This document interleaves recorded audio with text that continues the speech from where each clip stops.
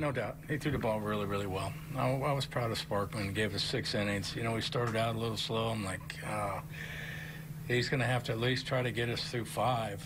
And but you know, he settled down in the third and really did a great job of getting us through six. So um, I thought, uh, you know, the way it looked early, they were going to bash his brains in, and he just kind of, you know, did a nice job of settling down and making pitches and.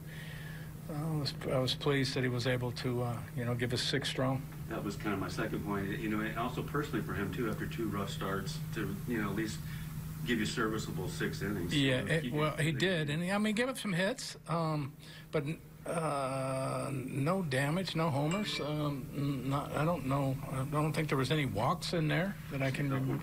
Couple, Yeah. yeah, but uh, I thought he threw the ball really well. Um, Gordo has had a lot of success against Scherzer, and you've seen a lot of it too in the Detroit games. But anything you've noticed that, that Gordo does that that works against the guy? No, that? he just didn't try to do too much. Took him the other way. Yeah. You know, Scherzer's a really good pitcher. What do you think about the way Lopez threw the ball?